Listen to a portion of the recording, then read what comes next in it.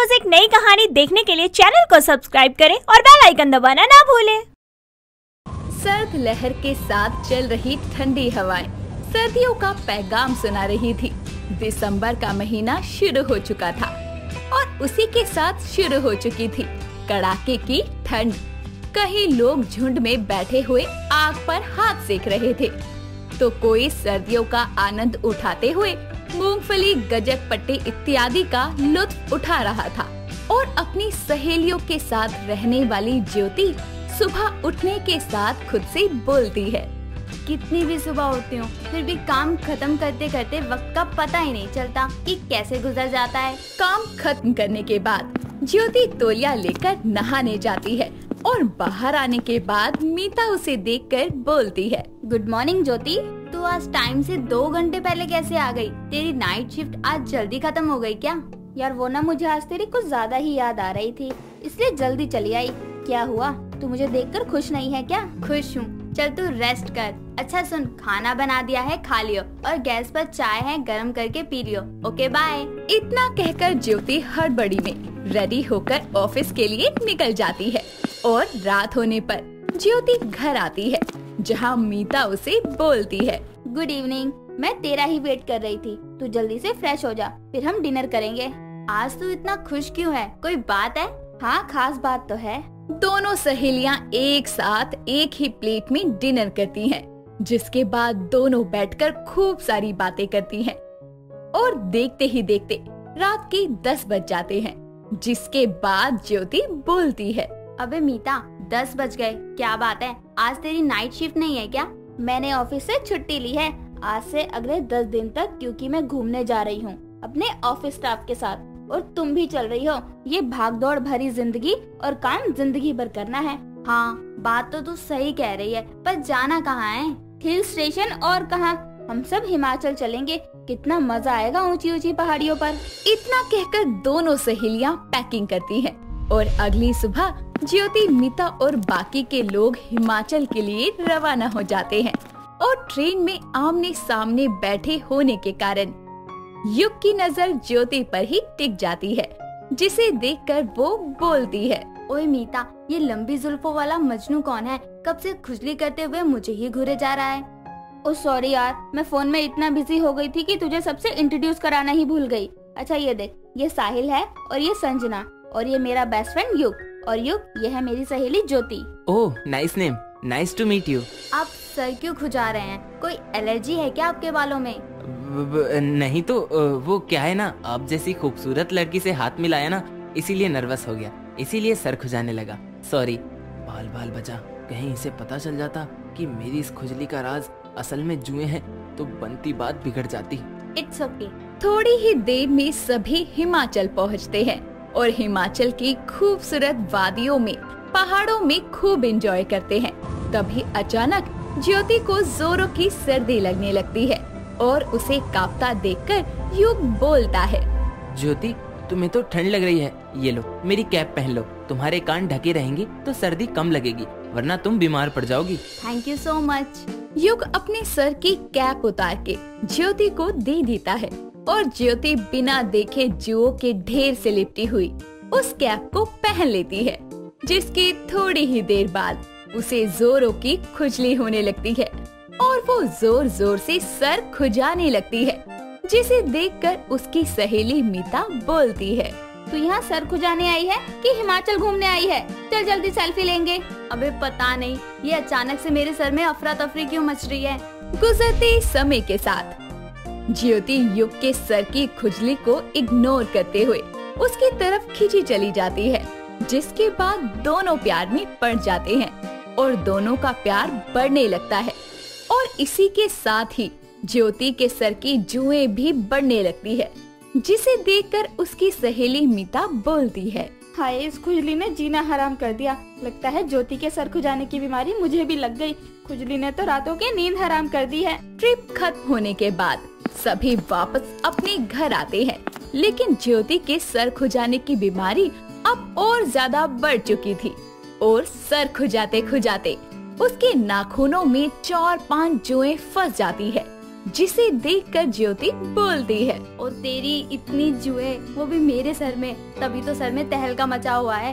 क्या करूँ? इससे पहले कि मीता देख ले, इनको ठिकाने लगाना होगा। ज्योति सोच ही रही होती है। कि तभी मीता की आवाज़ सुनकर ज्योति बोलती है, क्या करूँ? इससे पहले कि वो तुम्हें मेरे नाखूनों में देख ले, जल्दी से मेरे सर में छुप जाओ, वरना वो तुम्हारा खात्मा कर देगी। अब किस किससे बात कर रही है? किसी से नहीं। तुझे क्या हुआ? कहाँ गई थी? कुछ नहीं, बाज़ार गई थी। पता नहीं मेरे सर में इतनी जुए कैसे पड़ गई। उसी की दवाई लेने गई थी। आज मैं इन जुओं का नामो निशान मिटा दूँगी। इनका अस्तित्व ही खत्म कर दूँगी। जीना दुश्वार कर दिया है इन फौज ने मेरा। मतलब तू इन मासूमों का खून करेगी, हत्यारन पाप लगेगा तुझे पाप। बस बस, ज़्यादा डायलॉग बाजी मत कर, वरना इन जुओं के साथ कहीं मैं तुझे भी ना निपटा दूँ। और वैसे तू अपना सर क्यों खुजा रही है? कहीं मेरे सर में जुए तेरी ही देन तो नहीं? नहीं तो ये सर खुजाने की आदत तो मुझे युग के प्यार ने लगा दी। कहावत नहीं सुनी क्या कि जब इंसान प्यार में होता है तो उनकी आदतें एक जैसी हो जाती हैं। वक्त बीतता है, जिसके बाद ज्योति और युग शादी कर लेते हैं। और उसके बाद वो अपने ससुराल में आती है जहाँ उसकी माँ मालती बोलती है। तो इस खुजली की दुकान के लिए तूने इतने अमीर और बड़े घरों के रिश्ते को ठुकरा दिया। उनमें से किसी से भी शादी होती ना तो भर भर के सामान लाती। माँ जी लाई तो मैं भी बहुत कुछ हूँ और बहुत संख्या में।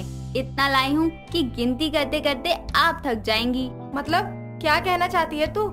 मुझसे पंगा मत लीजिए क्योंकि मेरे पास इतनी बड़ी सेना है जो मिनटों में तबाही मचा सकती हैं। उन्हें मैं अपने सर माथे पर रखती हूँ। हाँ हाँ बस कर। अपनी उल्टी पुल्टी बातें करके ज्योति अपने पति के साथ कमरे में चली जाती है और दोनों आधी रात तक अपना सर खुजाते रहते हैं। मैं तो कोशिश करके थक गया हूँ लेकिन ये ढीठ जुए जाती ही नहीं। काश इन जुओं की रोकथाम के लिए भी कोई परिवार नियोजन केंद्र होता। वक्त गुजरता है। और ये सब देखकर ज्योति बोलती है। बस बहुत हो गया। युग मैंने तुमसे एक सच छिपाया है। मुझे भी तुम्हें कुछ बताना है? मेरे, मेरे सर, में जुए हैं।, हैं। हाँ मैं जानता हूँ और वो जुए तुम्हें मेरी ही कैप से लग गए। आई एम सॉरी बेबी मुझे तुम्हें बताना चाहिए था लेकिन मैं डर गया था कि तुम मुझे छोड़ ना दो। धोखा। तुमने मुझे धोखा दिया। मैंने तुमसे प्यार किया और तुमने उसका ये सिला दिया। सबके बॉयफ्रेंड उन्हें गिफ्ट में रोज देते हैं चॉकलेट देते हैं। तुमने मुझे जुए दिए। इतना बड़ा सरप्राइज़ गिफ्ट मैं बर्दाश्त नहीं कर सकती। मैं तुम्हें डिवोर्स दे दूँगी। जाओ जाकर अदालत का दरवाज़ा खटखटाओ। पर क्या बताओगी उन्हें कि तुम अपने पति को इसीलिए तलाक देना चाहती हो क्योंकि उसके सर में जुए हैं। ये तो मैंने सोचा ही नहीं। ये सोचो कि अब ये जुए खत्म कैसे होंगी?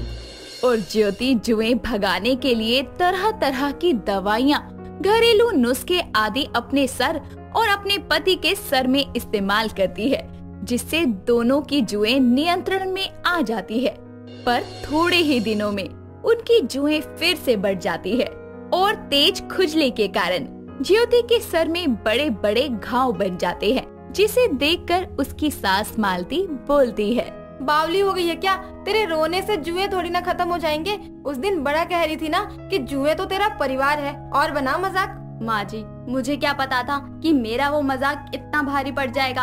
एक तो बिना मेरी मर्ज़ी के ये मेरे सर में ज़बरदस्ती आ गई और अपनी हुकूमत चलाने लगी। ये जुए किसी की सगी नहीं होती। इन्हें तो बस खून पीना आता है। माँ जी कुछ करिए। हाँ माँ कुछ करो इन जुओं ने तो मेरी नींद चैन सब कुछ लूट लिया है। तू तो बोल मत नकारा निठल्ला कहीं का। और रख जनानियों की तरह जुल्फे। खुद तो डूबा ही बहू को भी जुए के दलदल में ले डूबा। इससे पहले कि तीसरा नंबर मेरा हो मुझे कुछ बड़ा करना पड़ेगा।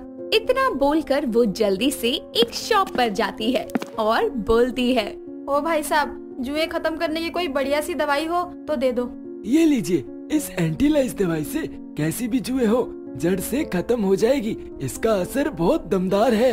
अरे पर इसे लगाना कैसे है? देखिए इसमें एक छोटी सी शीशी है इसमें जुए मारने का शैम्पू है उससे आपको अपने बाल धोने हैं और जैसे ही आप बाल धोएँगी सभी जुए इसके असर से बेहोश हो जाएँगी। जिसके बाद आप इसमें जुओं वाली कंगी से उन जुओं को साफ़ कर देना।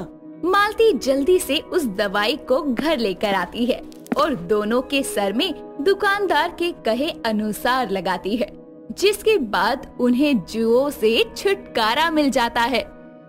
दिशा एक बहुत सुंदर लड़की थी जिसकी सब बस तारीफ़ ही किया करते थे। दिशा की शादी आयुष नाम के एक बहुत अच्छे लड़के से हो जाती है। शादी के बाद दिशा अपनी सास सुधा और अपने पति दोनों का ही बड़े अच्छे से ख्याल रखा करती थी। पर देखते ही देखते शादी के कुछ ही दिनों बाद दिशा मोटी हो जाती है, जिससे सब उस पर हंसने लगते हैं। यहाँ तक कि उसका पति आयुष भी। बुरा मत मानना दिशा। पर तुम बहुत मोटी हो गई हो। और इसी तरह से मोटी होती रही ना तो एक दिन फट जाओगी। अब आप भी मेरा मज़ाक बना रहे हैं। आयुष जी मुझे आपसे ये उम्मीद नहीं थी। अरे बाबा मैं तो बस मज़ाक कर रहा था। नाराज़ क्यों होती हो? अच्छा चलो आज मैं तुम्हारे लिए तुम्हारी फेवरेट चौमिन लेकर आऊँगा। अब खुश? हाँ हाँ क्यों नहीं? ले अपनी बीवी के लिए बढ़िया बढ़िया चीज़। माँ के लिए क्यों कुछ लाएगा? अब तो मैं बूढ़ी हो गई हूँ ना। अरे माँ आप गुस्सा क्यों हो रही हो? मुझे नहीं खाना कुछ भी।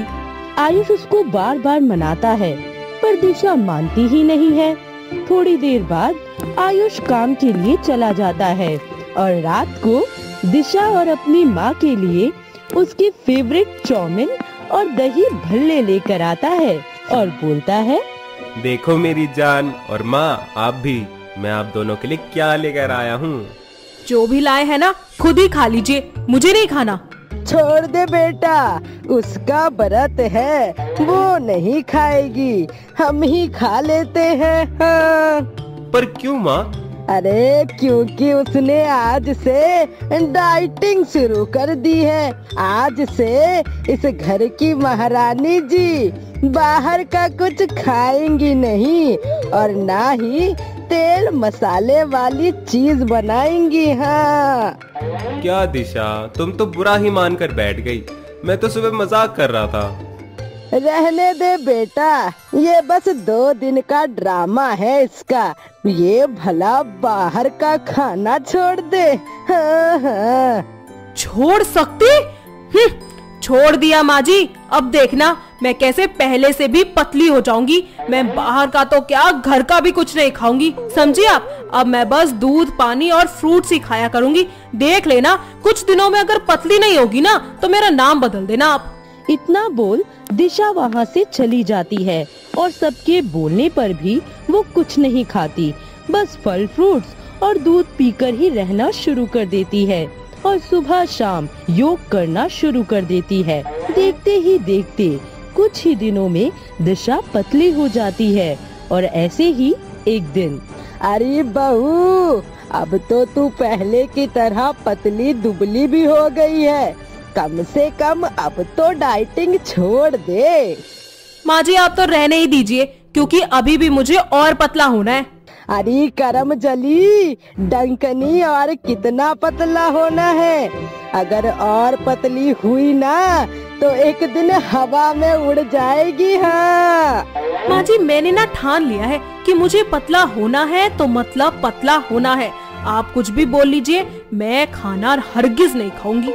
दिशा मुँह बनाकर वहाँ से चली जाती है और कुछ दिनों बाद वो योग करना बंद कर देती है।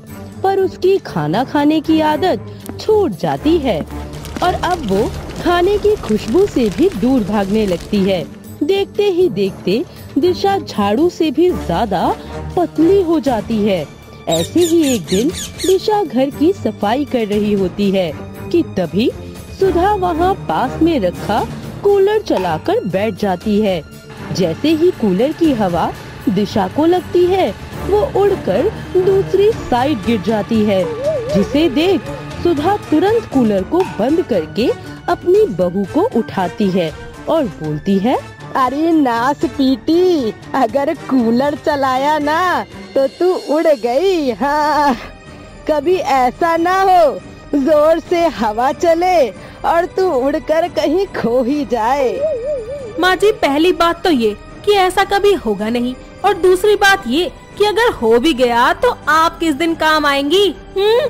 और हाँ मैं ना उड़ी उड़ी नहीं थी मेरा बस पैर फिसल गया था। अरे चल झूठी बड़ी आई। वो मेरा पैर फिसल गया था। अरे उड़ती चिड़िया के पंख गिन लेती है ये सुधा। ऐसे ही बाल सफ़ेद नहीं किए हाँ। अपनी बहू को सुनाकर सुधा वहाँ से चली जाती है और दिशा गुस्से में अपने रूम में चली जाती है। ऐसे ही एक दिन दोनों छत पर कपड़े सुखाने के लिए जाती हैं, जहाँ बहुत तेज से हवा चलने लगती है और दिशा खुद को संभाल ही नहीं पाती और उड़ने लगती है पर उसकी आवाज़ सुनकर सुधा उसका हाथ पकड़ लेती है और जैसे तैसे करके उसको अपने साथ नीचे लाती है और उसका एक दुपट्टा लेकर उसमें पत्थर बांधकर उसको थामते हुए बोलती है अरे ले बहू अब हर जगह मैं तो रहूँगी नहीं जो तुझे इस हवा से बचा सके। इसीलिए इसे अपने गले में लटका कर ही बाहर जाना है। पर क्यों माँ जी? अरे इसके वज़न से तू उड़ेगी नहीं ना। दिशा रोने लगती है और उस पोटली के साथ अपने रूम में जाने की कोशिश करती है। पर दिशा से उस पोटली का भार उठ ही नहीं पाता, जिसे देख सुधा उसके हाथों से पोटली छीनकर उससे बोलती है, अरे अरे और कितना पतला होना है तुझे। तू इतनी पतली और कमज़ोर हो गई है कि अब तू हवा में भी उड़ जाती है। और एक पोटली उठाने तक की हिम्मत नहीं रही तुझ में। अगर यही हाल रहा ना तेरा तो एक दिन उड़ते हुए तो भगवान के पास ही चली जाएगी हाँ। दिशा अपनी सास की बात सुनकर अपने आंसुओं को बहने से रोक नहीं पाती और वहीं खड़ी होकर रोने लगती है। ये सब होता देख सुधा उससे बोलती है अरे बहू मैं तेरी दुश्मन नहीं हूँ। मुझे भी तेरी चिंता होती है, इसीलिए बोल रही हूँ, पतला होना अच्छी बात है, पर हद से ज़्यादा अति किसी चीज़ की अच्छी नहीं हाँ। आप सही बोल रही है, माँ जी। शायद मेरे पतले होने की वजह से ही आयुष जी भी अब मुझसे दूर रहने लगे हैं। माँ जी, अब से मैं अपना ख्याल रखूँगी और पहले ही की तरह ही बनकर दिखाऊँगी, माँ जी। इतना बोल दिशा नाक बंद कर खाना खाना शुरू कर देती है और डाइटिंग बंद कर देती है। और कुछ ही महीनों में उसकी सेहत भी बन जाती है। उसकी पहले जैसी सेहत देख सब बहुत खुश होते हैं और आयुष उसको कसकर हक कर किस करते हुए उससे बोलता है। जान अब तुम फिर से मेरी पहले वाली दिशा बन गई हो।